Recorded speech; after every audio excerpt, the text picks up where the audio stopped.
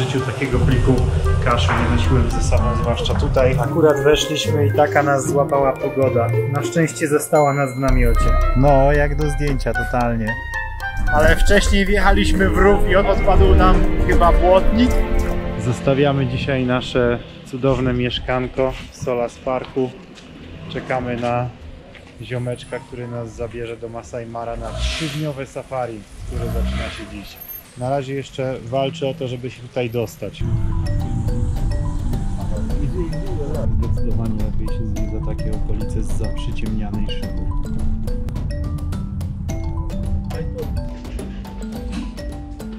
Odprawa dokonana, zapłacone gotóweczką. W życiu takiego pliku kaszy nie nosiłem ze sobą, zwłaszcza tutaj.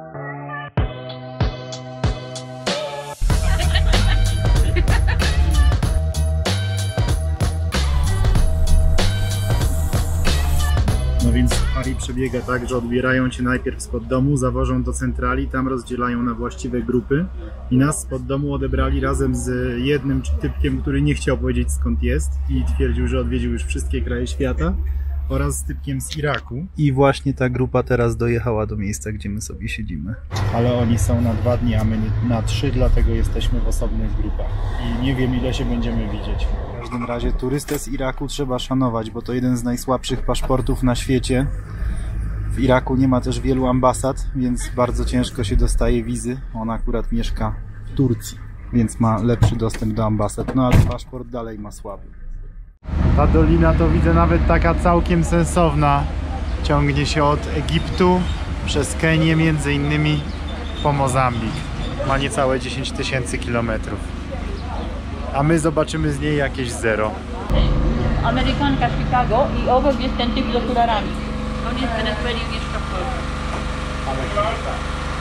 Pewnie go jeszcze poznamy, więc go pokażę, a my tymczasem po, euroke- po europejsku Americano za 300, cappuccino za 400. Bawimy się, no ale to jest viewpoint dla turystów, no.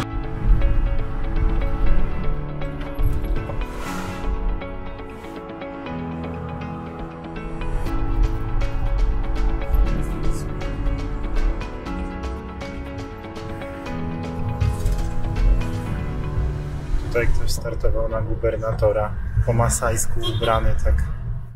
Jesteśmy może gdzieś w połowie drogi. Przejeżdżamy przez Narok Town, 40-tysięczne miasteczko, ale wygląda na dużo więcej przez ten tłok na ulicy. Robimy drugą przerwę. Zostało nam godzina 40 do Parku Narodowego. Tym razem przerwa jest koło wielkiego supermarketu z lokalnymi wyrobami, gdzie oczywiście nie ma cen. Stanąłem przy jakimś ładnym magnesiku. Pani chciała 10 dolców. Ja tak z jednego mógłbym dać, może dwa, więc sobie grzecznie wyszedłem. Zastanawiam się zawsze, ile oni kasy tracą na tym, że po prostu nie ma transparentności w takich miejscach. Te ceny wcale nie musiały być niskie. Wystarczy po prostu, że nie byłyby astronomiczne i już mieliby klientów, e, moim zdaniem, na dużo większe obroty niż teraz. No ale cóż, za taki consulting to się płaci, więc nie powiem im tego. Też zabawnie, że na tym etapie drogi już coraz więcej samochodów to są wyłącznie takie jeepy albo busiki Toyoty z turystami jadącymi na safari. Tak jedna trzecia przynajmniej.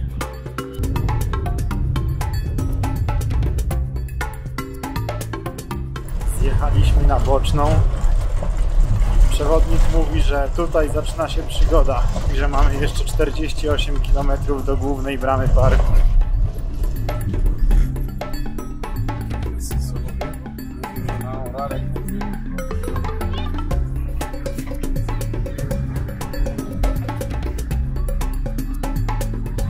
Dzieciaczki liczą na cukierki, dosłownie wszystkie.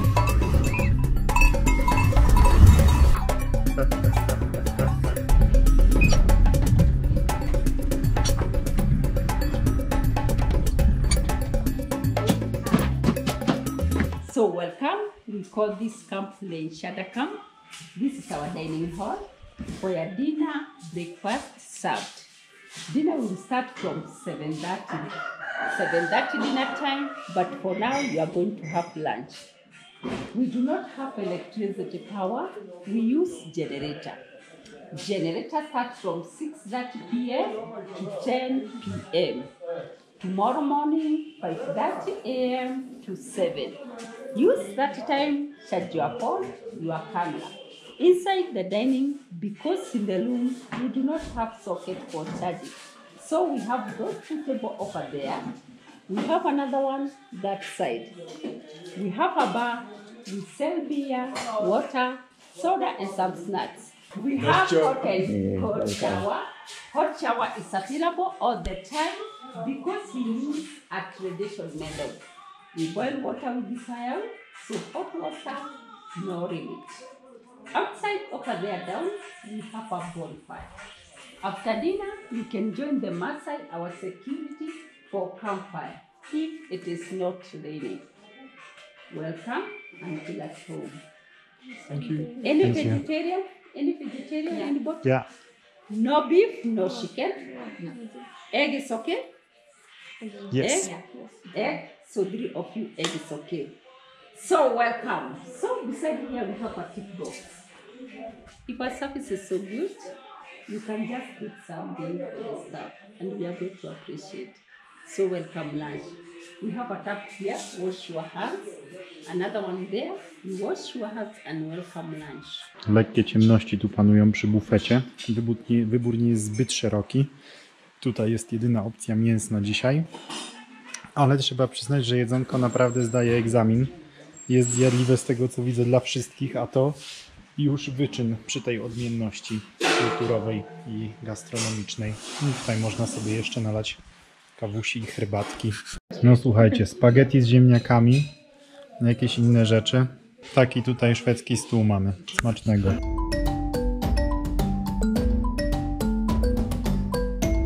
So my name is Augustus. Nice Okay. to meet you. So nice to meet with you also. Nice to meet you. This is your room. Okay. W tych ciemnościach tą kamerką to ja tutaj za dużo nie pokażę, ale będzie światło później, to jeszcze zrobimy tour, a przez moskitierę w namiocie mamy taki widoczek.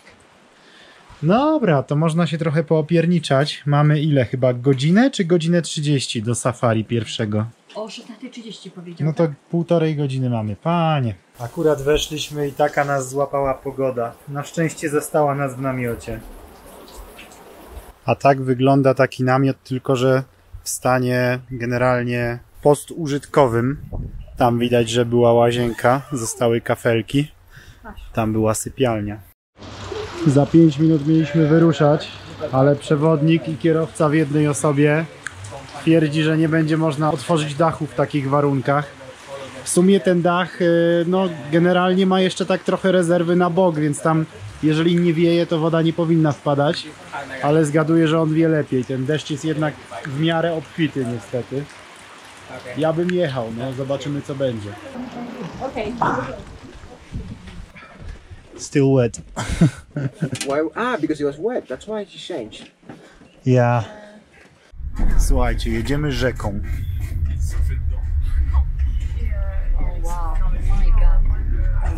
Rzeką.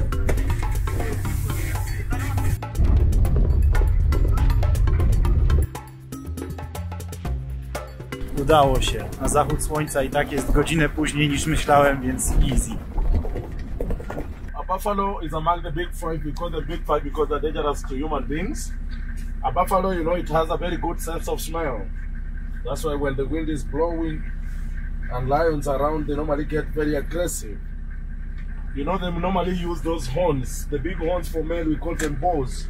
They can use those horns to injure even a lion. But when they're in a big group of female calves, we normally have strong male to fight for the females and also to mate with the females. But when they become weak, they normally chase away from that group. They go to form a group like a bachelor, where you get the only male. And you know, they say they are more dangerous than even when they're in a group. The gestation period is one year, and the lifespan is 15 years to 20.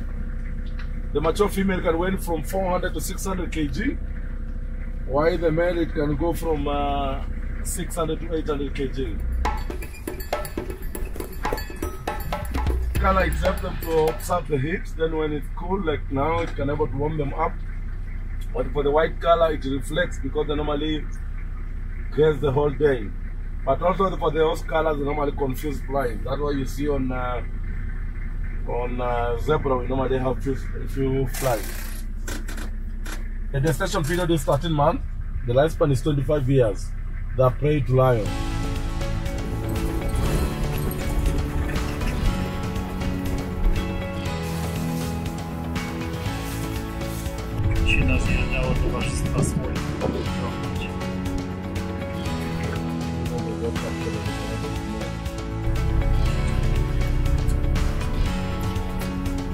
2 mark, the lifespan is 50 years, but meanwhile maximum can be up to 70.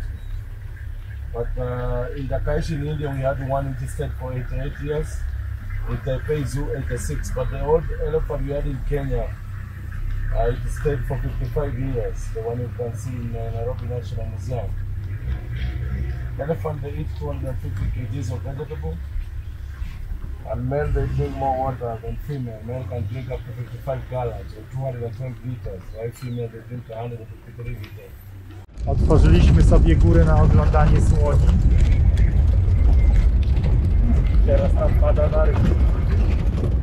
Gratki dla ornitologów też się znajdą. Wszyscy się rzucają na żyrafę. Jedną.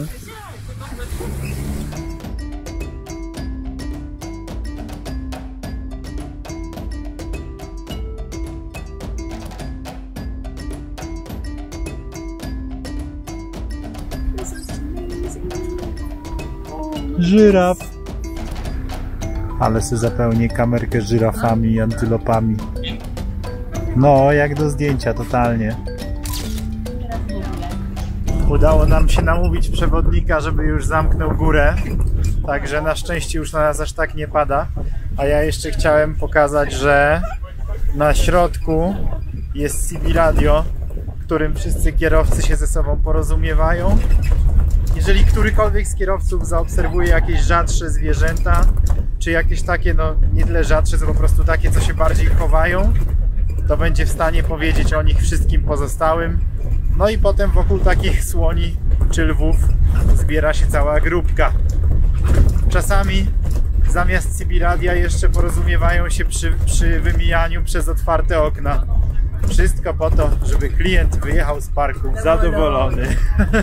Zastanawiałem się, jak to możliwe, że przy takim stylu jazdy nie odpadają części od tego samochodu, ale wcześniej wjechaliśmy w rów i odpadł nam chyba błotnik, czy jakaś blacha z przodu, nie znam się na samochodach. A teraz przyjrzyjcie się dobrze lewej wycieraczce. Takie tam, another day in the jungle. A godzina zachodu słońca była taka sama tu i taka sama w Nairobi, to mu się coś pokićkało. A tak wygląda nasz przybytek w pełnej okazałości. Późnym wieczorem, oświetlony, bo mamy prąd. O, pieseł. Oż ty luju, faktycznie trzeba zamykać. Mamy okienko pogodowe, znaczy w sumie pogodowego to zdecydowanie nie mamy. Mamy okienko prądowe, to jeszcze zrobimy szybki tutaj tour po namiocie. Łóżko stoi na środku, generalnie dosyć zabawnie, nie dotyka z żadnej strony ściany. Nad łóżkiem wisi sobie właśnie taka moskitierka zwinięta, ją można rozwinąć i wtedy tak jak, taki, jak, takie, jak tacy książęta z bajki się śpi. Nie wiem jak bardzo jest to konieczne, zresztą widać, że jest zwinięte, dlatego że wszystkie okna i tak już mają moskitiery. No niestety z tym światłem to średnio można cokolwiek pokazać. Ręczniki są też na stanie i mają podobno jeszcze do nas przyjść. Jest szafeczka nocna, no i kibelek wygląda tak. Tutaj jest kibelek, fajnie jest niziutko, gdzie Gazeta Wyborcza twierdzi, że wtedy łatwiej się załatwia swoje potrzeby. Siema, faceless Witold, please don't leave taps running. Dokładnie, tego nie robimy. Ciepła woda akurat jest cały czas, tak to jakoś ogarnęli. I to jest w ogóle propsy, bo to jest lepsze niż w większości drogich hoteli, a ja jako stały bywalec drogich hoteli wiem co mówię, to jest sarkazm. To jest lepsze dlatego, że przynajmniej jest pokazane, nic nie trzeba zgadywać z której strony jest która woda. Założę się, że takim osobom jak Renata takie rozwiązanie bardzo się spodoba. tak sobie wychodzę.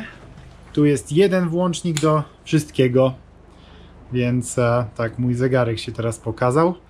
A ja zebrałem wszystkie ładowarki, dlatego że w tym y, oto namiocie nie ma gniazdek, więc jeżeli chcę sobie cokolwiek podładować, a chcę, to muszę wykorzystać okienko prądowe wieczorne i podbić wszystko, podłączyć do jadalni. Widzimy się za chwilę. Jeżeli zastanawiacie się, czy każdy, kto chce pojechać na safari, musi tak żyć, to odpowiedź brzmi oczywiście nie. Ua! Da się wydać kilkadziesiąt tysięcy złotych za parę dni i spać w naprawdę pięciogwiazdkowych warunkach, takich naprawdę pięciogwiazdkowych. Ja oczywiście cebula w sercu, Renata tym bardziej. Ua! Zostaw mnie! Ja oczywiście uciekam przed komarem. Ja oczywiście cebula w sercu, więc, e, więc wybraliśmy najtańsze, co było możliwe. Jak sobie uwzględnię koszt tej wycieczki minus koszt wstępu do Parku Narodowego, to szczerze mówiąc nie wiem na czym oni zarabiają. Chyba na tym, że faktycznie jeździmy mimo wszystko gruchotem. E, No i koszt siły roboczej jest niewielki, no a koszt tego generalnie jest też niewielki plus jednorazowy, więc e, myślę, że tak oni to sobie domykają. Plus oczywiście są napiwki na wszystkich krokach y, po afrykańsku. Aczkolwiek nasz przewodnik wydaje się naprawdę spoko, więc dobra, ja go- ja tego ko- komara załatwię tą kamerą. Ty, udało mi się chyba, ale jazda. Nie lubię zabijać żyjątek, no ale kurde. Tak, na szczęście my trafiliśmy znowu na spoko przewodnika, taki naprawdę w porządku gość, nie że tam, nie, nie że nie wiadomo co, ale taki naprawdę w porządku. No i w cenie wycieczki jest zakwaterowanie, mamy dwie noce, dojazd z i do Nairobi. Wszystkie safari, a będzie ich. E, no jutro chyba będzie safari cały dzień, więc można powiedzieć, że są trzy. Dzisiaj wieczorem było pierwsze, jutro będzie jedno cały dzień i trzeciego dnia będzie jedno poranne. W cenie są wszystkie posiłki, e, to znaczy od lunchu pierwszego dnia do lunchu ostatniego dnia. To będzie jakieś pięć posiłków chyba wychodzi. No i jest oczywiście wstęp do parku narodowego. W cenie jest także woda, Natomiast e, w cenie nie są żadne inne napoje, nie są napiwki dla przewodników, które przyjęło się zostawiać, więc należy to robić. Nie wiem, czy to dlatego, że te agencje im nie płacą, albo płacą bardzo mało, tak naprawdę bardzo mało. Możliwe, dlatego że no nie wiem jak inaczej e, ten tour mógłby kosztować tak niewiele. I w cenie oczywiście nie są jakieś tam pierdółki, które sobie człowiek będzie chciał kupić sam. Dobra, idę podłączyć te rzeczy. Renata już się pewnie zastanawia, gdzie jestem. No słuchajcie, zbieram zamówienia na telefony. A i tym razem nie jesteśmy tu sami. Wszyscy się już obsłużyli, to ja się jeszcze ośmielę i pokażę bufet kolacyjny dzisiaj. O, siema. Tutaj mamy sztućce, ryż, mięsko, warzywka, naleśnik.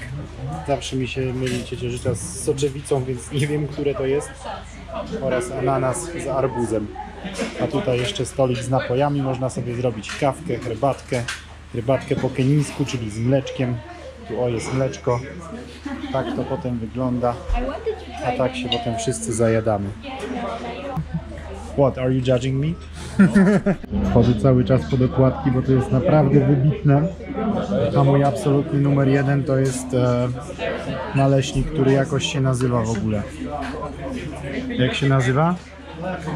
Nie mam pojęcia. Jakaś ciabatta. Dam napis. Dwie czy trzy godziny później posiedzieli, pogadali, pojedli.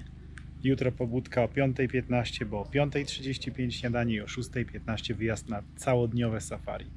Całodzienne. Teraz już w żadnym języku nie umiem mówić. Do jutra.